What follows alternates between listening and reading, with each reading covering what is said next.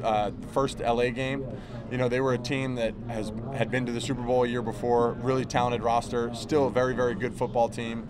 Um, that we had, that had given us a lot of headaches, you know, a, lot, a, couple of the years previously with what Sean and, and the rest of the, Rams had been building. Um, and when we went down there to LA, um, and you know, we beat them up pretty good, and that was kind of a turning point of okay, we're at the top. You know, we're at the top, and, we are capable of beating anybody.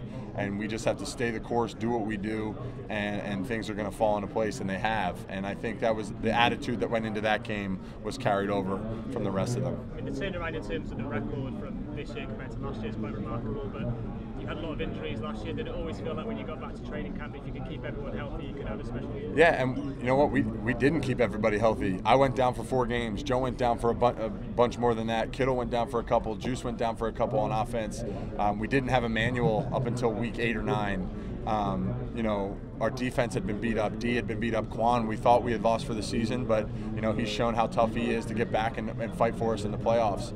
Tartt had, was battling a broken rib, and, and guys that all over the place that had, you know, we, we didn't we weren't injury free, but the but the way that guys stepped up in those moments to make plays for our football team and play consistent football in the times that you know guys that were normally the starters went down um, is why we're here where we are and, and it's and it's those unsung here it's, it's the guys that you know when we went into training camp people didn't really give a lot of attention to um, it's the Dre Greenlaws. It's the you know Kendrick Bournes. It's the Dan Brunskill and Justin Skules that, that stepped up in huge ways for us that allowed us to make a run that we did.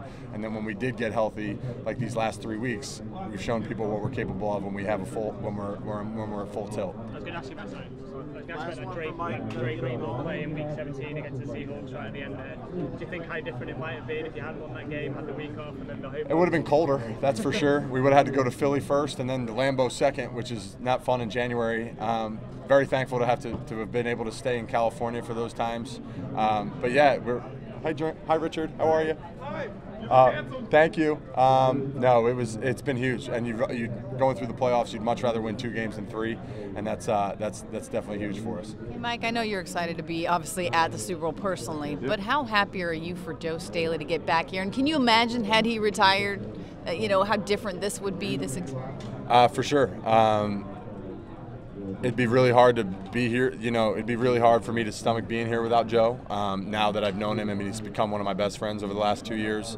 Um, you know, this is a this is a huge moment for him. Um, he's worked his entire life and his entire career, which is you know 13 years long, to get to this moment again and to have this opportunity to win. And um, it makes it that much more special to be able to, you know, hopefully capitalize on on, on, on one big win for him, and you know, give him what he deserves. And he, he's had every accolade ever that you could possibly imagine, except for being a Super Bowl champion, and that's what we want to send him out with.